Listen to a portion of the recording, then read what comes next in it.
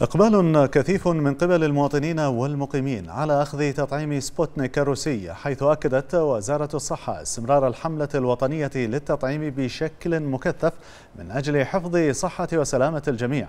مجددة دعوتها لجميع المواطنين والمقيمين من من هم من فوق الثمانية عشر عاما خصوصا كبار السن والفئات الأكثر عرضة للإصابة ممن لم يأخذوا التطعيم حتى الآن. المبادرة بالتسجيل وأخذ التطعيم لتوفير الحماية لأنفسهم وللمجتمع.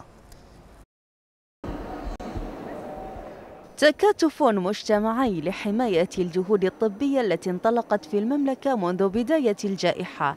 من خلال الإقبال الكبير على مركز البحرين الدولي للمعارض والمؤتمرات للحصول على تطعيم سبوتنيك الروسي وسط تنظيم وتباعد اجتماعي يطبق بكل مسؤولية واحترافية.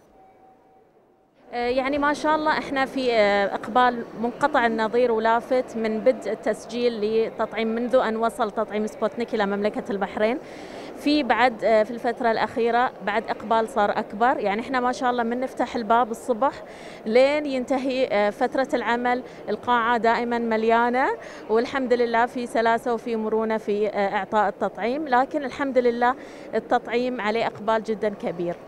طبعا بالنسبة لسبوتنيك أثبت فعاليته بنسبة كبيرة بنسبة تقريبا 91% وأثبت أما أنه هو آمن سواء للأمراض المزمنة أو الناس اللي عندهم حساسية شديدة يعتبر آمن للجميع إن شاء الله.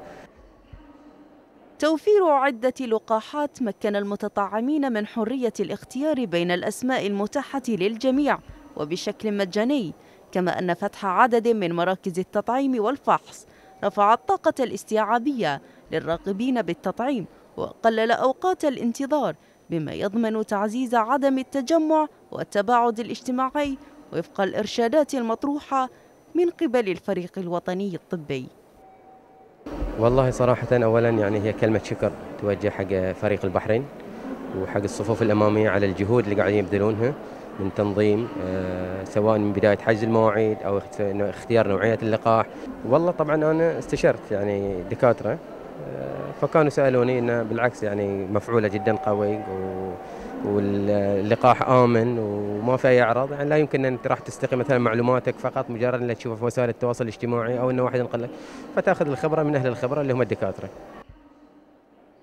وزارة الصحة أكدت مسبقا كفاءة ومؤمنية كافة التطعيمات المجازة في المملكة منها سبوتنيك الروسي منذ فبراير عام 2021 فالمبادرة لأخذ التطعيم في هذه المرحلة تعتبر من الضروريات القصوى لدعم الجهود الوطنية للتصدي للفيروس والإسهام في حفظ صحة وسلامة الجميع.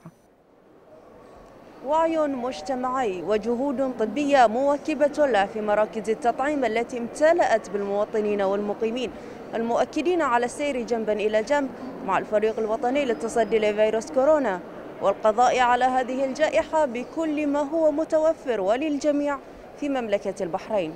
شوق العثمان لمركز الأخبار تلفزيون البحرين.